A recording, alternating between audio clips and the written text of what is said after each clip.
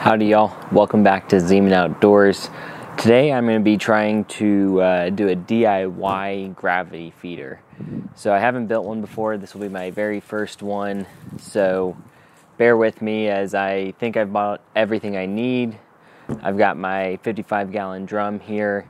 And as I go through it, I'll list the prices that I paid for things. I want to say I'm at like $60 or so to build this and so I'll go through that as well, and at the end I can give you all the final price I spent on everything here. But to start, I have this 55 gallon drum. It is a plastic drum. It does come with a lid. The lid had this metal bracket on it to be able to seal it and keep it tight. I did get this for free from one of my fiance's cousins so this is not included in the price. That being said, you can probably pick up a drum similar for about 30 bucks on Craigslist or something like that. So if you can't get it for free, make sure you add this price into it as well. To start, I'm gonna go ahead and take the lid off. We're gonna flip the can upside down. And we need to basically put a hole here in the bottom of it. And I'm gonna put a toilet flange. So I'm gonna put this toilet flange basically center it up in there. It'll actually be facing this way, but this is the hole right here that I need to draw on the can so that I can use my jigsaw and cut out a spot for this. So I'm gonna go ahead and line this up, draw myself the circle here, and then go ahead and cut it. You can try and make this perfect, which I'm actually going to do. I'm gonna get a tape measure. I'm gonna try and find the center of this. So now that I've got my center marked, I'm going to line up our circle around that and I am going to drill a hole and I'm going to move you all a little bit closer so you can kind of get a better look. So you probably can't see it too well because it's black on black, but I'm going to go ahead and drill a hole here so that I can start my jigsaw. So then we're just going to cut out this circle here. So I bought some bolts for this. And I'm gonna go ahead and put two bolts in here so that we can lock that in. It doesn't really matter where you put them. I'm just going to go ahead and make some holes here. So now that I got that lined up, we'll flip, flip it over. All right, so I'm gonna put the bolts through. So we'll go ahead and tighten these guys up. I put a washer on there as well. Looks like I could have gotten a little bit shorter of a bolt, but it should be fine. So one thing I'm gonna do also is I've got some silicone that I'm going to put around the edge here to kind of seal it, but I want to make sure I can build it and get this working before I go seal everything up. So the next thing you're going to want to add is a T. As you can see, this doesn't really fit all that well, so I kind of have a couple options. I can either try and find a part that uh, will fit a little bit snugger here. I may see if I can put a little bit of a four inch over it and then put this on top of that and uh, and screw it in and make sure it's snug because I don't think glue will work in this situation. And so uh, I'm to probably do that option, cut a little piece of 4 inch PVC that'll fit right over here, and this should fit snugly over that as well. Alright, so let me cut a little bit of 4 inch pipe. I bought a 10 foot piece of 4 inch here, so I'm to cut off uh, about 2 inches of pipe.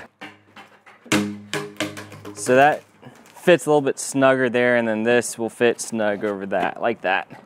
And I'm still, I'll, I'll use a little bit of uh, pipe glue on it, and then I'm also gonna put some screws in there um, to make sure it doesn't go anywhere. So we'll go ahead and do that. That seemed to work. So we'll put another one in on this side. So that really shouldn't go anywhere. And the nails that go through, I mean, it's not going to do anything on the inside. They'll just uh, move the corner around a little bit. So we'll we'll stick for now with that.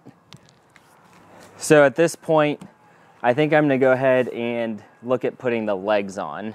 I'd watched a couple videos on people putting some of these together and saw some wood options, saw some, you know, some with legs, and I just figured I, am kind of doing a modification of uh, all of them.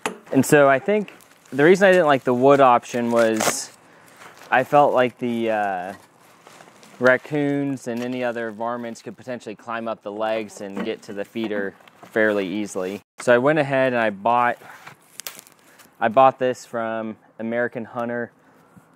I'll put the price on the screen so you can see what I paid for it. But basically, it's just your, you know, three leg attachments that you can put uh, some metal pipes on.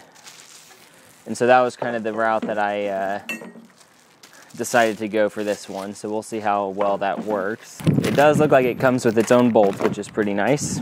So basically all it says is position the adapters equally spaced around the barrel and tighten all nuts. These little adapters here go on the inside of the barrel. I don't have a uh, kind of a fabric tape, so this is gonna have to do for now. So it's about six feet, that's 24 inches, so two feet for each leg basically. So I can probably go ahead and install the first leg and then do two feet on either side of that and should be should be good to go. It doesn't really illustrate where you should put the legs. Um, I imagine you kind of want it on a flat part of the barrel, I would think. So I'm to probably put it, you know, somewhere around this this angle. I'm to get a little bit of a level to make sure I'm putting it in there level as well.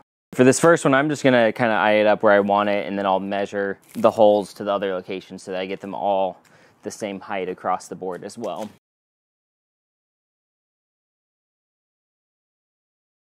All right, so now we need to measure 24 inches around to the next location. All right, and before I do that one, I want to measure 24 inches this way and then make sure I have 24 inches in between the other side as well. Go ahead and mark it and we can measure from the ground up to where your first hole is gonna be. So basically from the ground to that first bolt is 15 and a half inches. So I'm gonna go ahead and mark that. We should be good to go ahead and drill that first hole in both locations.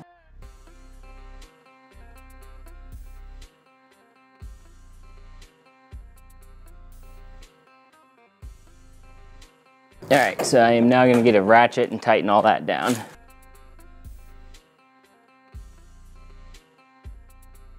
So some of these are uh, just twisting, so I'm gonna try and get it a little bit of leverage here to hold it tight.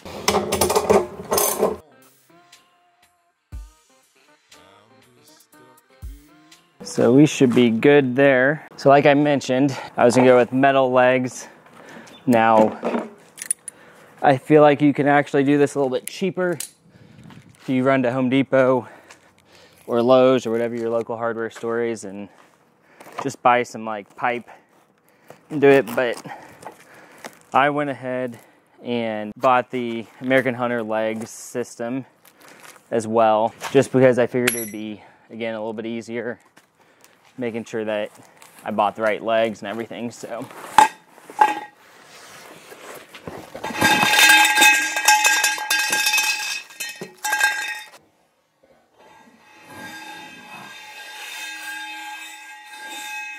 My thought was I really wanted to make, I really wanted to make this a uh, kind of a stand and fill setup. So I'm going to see if only I can get away with only two pieces of these legs. This may be where it's a more than one person job, but we'll see if I can do it. All right, so that's one leg there. Obviously that height will not work.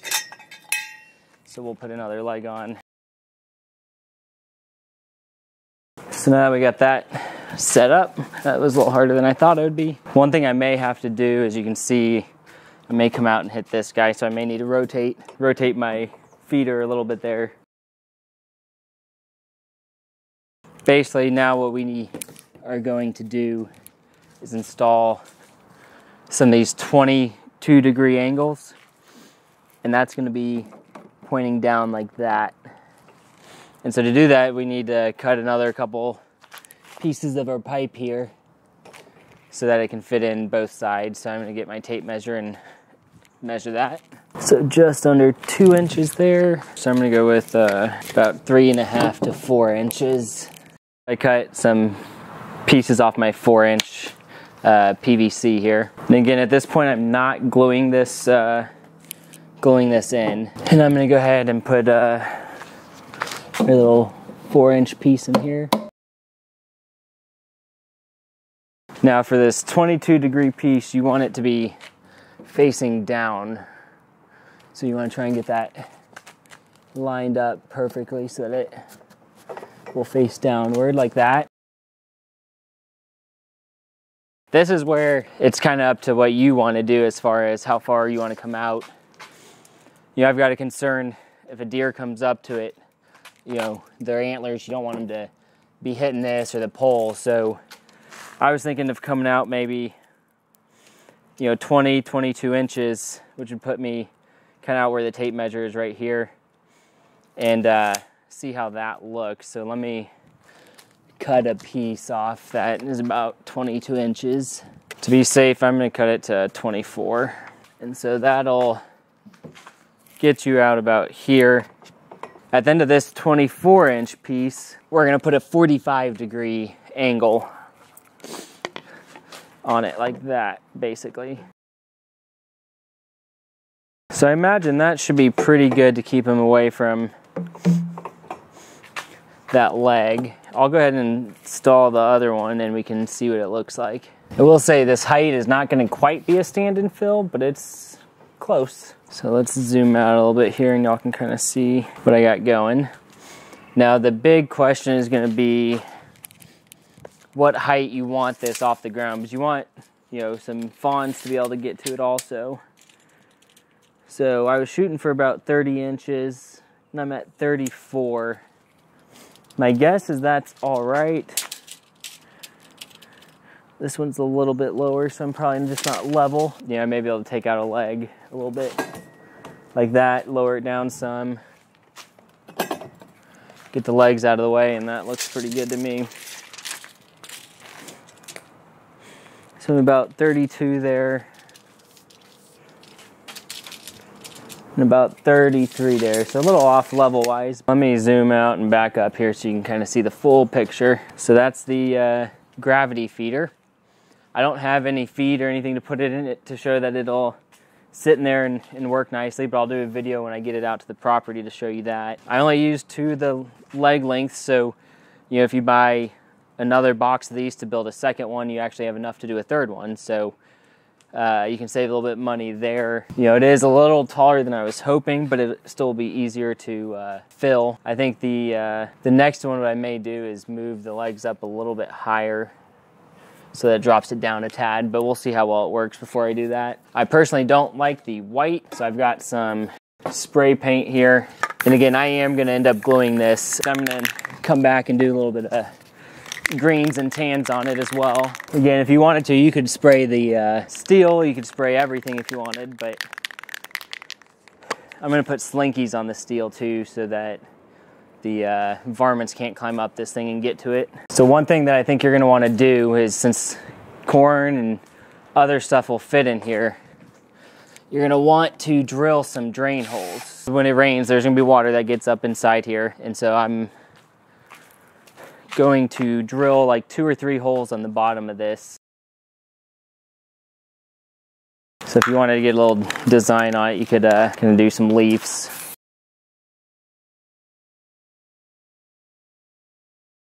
I hope y'all enjoyed this video. I'm gonna do a little finishing touches. When I get to the property, I'll seal it, glue it all off, make sure it's pretty waterproof. Like I said, I put some holes in it so that any water that does get in there can drain out easily doesn't cause any mold. You can do this with a metal drum as well. I actually have a metal drum. If this works well, I may do another one. I also may do a video of doing one with a, a slinger on it. If y'all are interested in that, like this video and leave a comment. That way I know y'all enjoyed it and I'll do another one. If you have any questions, comments, tips, again, this is my first one I've done. Feel free to uh, leave a comment, shoot me an email. My email address is in the description below. And for what I spent to do this, way cheaper than going uh, and buying a two, three, four hundred dollar gravity feeder somewhere else. I think it should work. We'll test it out. I'll get a good trail camera on this and see uh, see what we end up getting uh, coming up to it, and I'll keep you on the loop. As always, thanks for watching, and see y'all next week.